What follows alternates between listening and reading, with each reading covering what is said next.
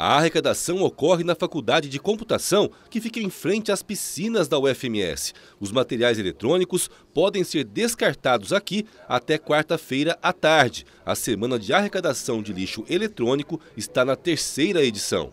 A coordenadora do projeto explica que há duas vertentes da ação realizada na universidade. Posso ter uma impressora que não está estragada, mas eu não uso mais. Então você vem, traga, seja o que é, estando estragado ou não, você traz. E também você pode olhar aqui e ver se tem alguma coisa que alguém descartou, porque não usa mais, não necessariamente lixo, então eu não chamo de lixo, eu chamo de descarte.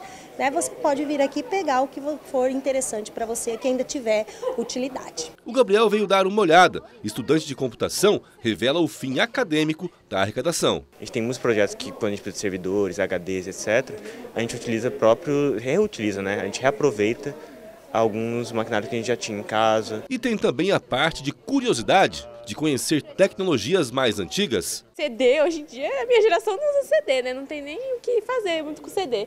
Também telefone fixo, né? A gente também não usa só quando é interfone, né? Aí eu achei muito legal e as pessoas estão tá doando, né? Que tem gente que está até procurando coisa para é, arrumar, reutilizar. Conforme o Sistema Nacional de Informações sobre a Gestão de Resíduos Sólidos, em 2021 foram arrecadadas 1.960 toneladas de eletrônicos no país em 4.229 pontos espalhados pelo território nacional.